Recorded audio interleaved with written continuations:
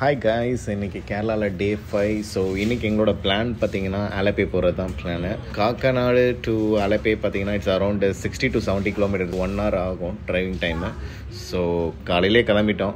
So கண்டிப்பாக breakfast எடுத்துக்கணுங்கிறதுக்காக Aryas Regent போயிருந்தோம். It's one of the best vegetarian hotels அப்படின்னு சொல்லியிருந்தாங்க. ஸோ அங்கே தான் போயிருந்தோம் அண்ட் இட்ஸ் குவைட் குட் ஃபுட்டெல்லாம் சூப்பராகவே இருந்துச்சு. நல்லாவே பண்ணியிருந்தாங்க.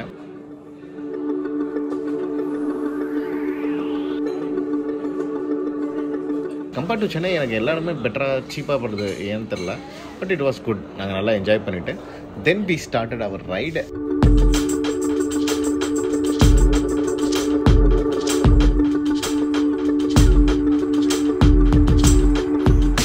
so இது ஒரு ஒன் ஹவர் டிரைவிங்கு நம்ம ஸ்பாட்டுக்கு போயிட்டு எப்படி இருக்குது அந்த ஏரியா அப்படின்னு பார்க்கலாம். பிகாஸ் நான் வந்து ஆலப்பி வந்து நேர்லலாம் பார்த்ததில்ல இதுக்கு முன்னாடி. So this is my first time இந்த ஸ்பாட் பார்த்தீங்கன்னா நாங்கள் ஒரு பர்சன் காண்டாக்ட் பண்ணியிருந்தோம் போட்டுக்காக ஸோ அவர் கொடுத்த லொக்கேஷன் படி தான் நாங்கள் இங்கே வந்திருக்கோம். ஆக்சுவலி நான் கொஞ்சம் எக்ஸைட் ஆகிட்டேன் இதை பார்த்தோன்னே இது வந்து பேக் வாட்டர் டிரான்ஸ்போர்ட்டேஷன்ஸ் இதுக்கு முன்னாடி நான் பார்த்ததில்ல. ஸோ எனக்கு கொஞ்சம் எக்ஸைட்டடாக இருந்துச்சு. அண்டு uh, வண்டியை பார்க் பண்ணுறதுக்கு ரொம்ப கஷ்டப்பட்டோம். சேஃபான ஸ்பாட்டை ஐடென்டிஃபை பண்ணி அங்கே வண்டியை பார்க் பண்ணிவிட்டு நாங்கள் காண்டாக்ட் பண்ண பர்சனை போய் ரீச் பண்ணோம். ஸோ அவர் வந்து போட்டு வந்து ரெடி ஆகிட்டுருக்கு கொஞ்சம் வெயிட் பண்ணுங்கள் ஸோ நம்ம ரைடை ஸ்டார்ட் பண்ணிடலாம் அப்படின்னு சொல்லிட்டு அவர் ரெக்வஸ்ட் பண்ணியிருந்தார். ஸோ அதனால் அங்கே உட்காந்து வேடிக்கை பார்த்துட்டு இருந்தோம் கொஞ்ச நேரம்.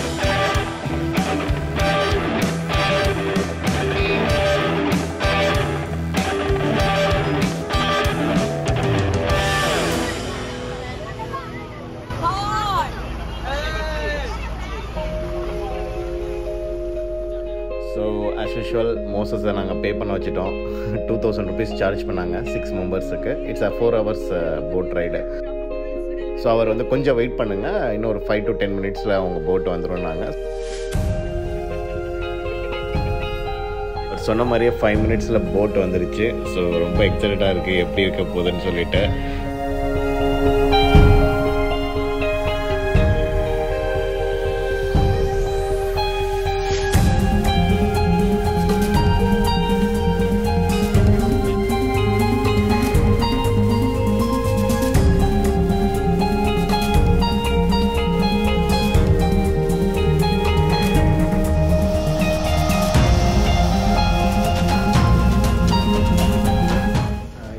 மனசுக்குள்ளே ஒரு சின்ன எக்ஸ்பெக்டேஷன்ஸ் இருந்துச்சு. நமக்கு எப்படி இருக்குங்கிற ஒரு எக்ஸைட்மெண்ட் இருக்கும்ல அது கூட ஒரு எக்ஸ்பெக்டேஷன்ஸ் இருக்கும்ல.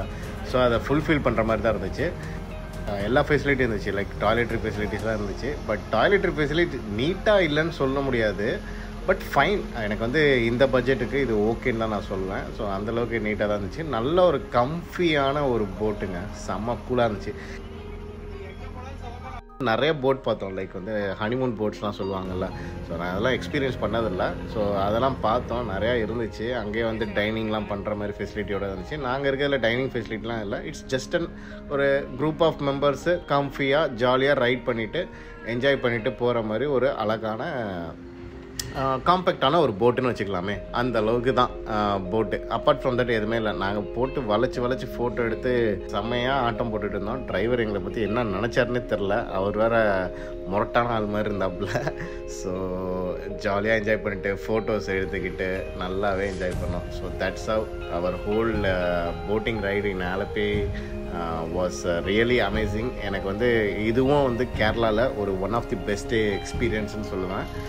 எல்லாத்தையும் நம்ம எக்ஸ்பீரியன்ஸ் பண்ணணும் அப்படிங்கிறதுக்காக தானே நம்ம வந்து ட்ரிப்பு ட்ராவல் அண்ட் இதோட எங்களுக்கு கேரளா ட்ரிப்பு இங்கே முடியுது. ஸோ இதுக்கப்புறம் நாங்கள் நாளைக்கு வந்து பார்த்திங்கன்னா இயர்லி மார்னிங் ஒரு ஃபோர் ஓ கிளாக் போல் சென்னை கிளம்பலான்னு சொல்லி பிளான் பண்ணியிருக்கோம்.